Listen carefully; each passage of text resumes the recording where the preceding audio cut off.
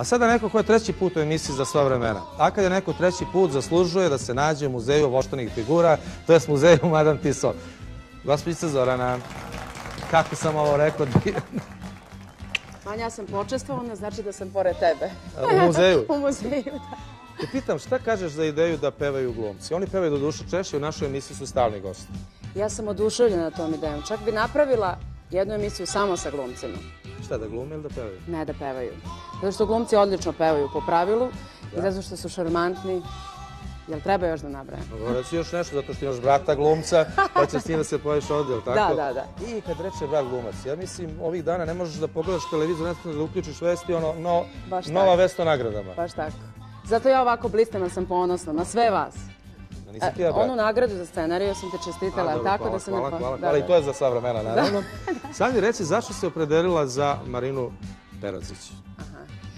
A, ja na svakoj svojoj ploči imam jednu obradu i sad ću reći nešto što mi u stvari uopšte ne ide u prilog, ali mislim da se pre nekoliko godina čak mnogo bolja muzika slušala nego danas. Čekaj, se bolje pevalo ili ne razumem to?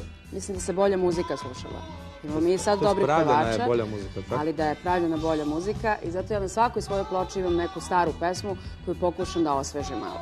To je bilo prvo zaboravljeni, pa potom... Ovaj, Dok dobuje kiša sa bijelom, Da.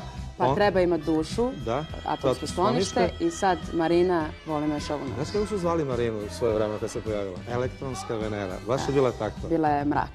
Ja, a tako izgleda Zorana kad peva Marinu Mrak. Hvala Vanja. Hvala tebi. Ćao.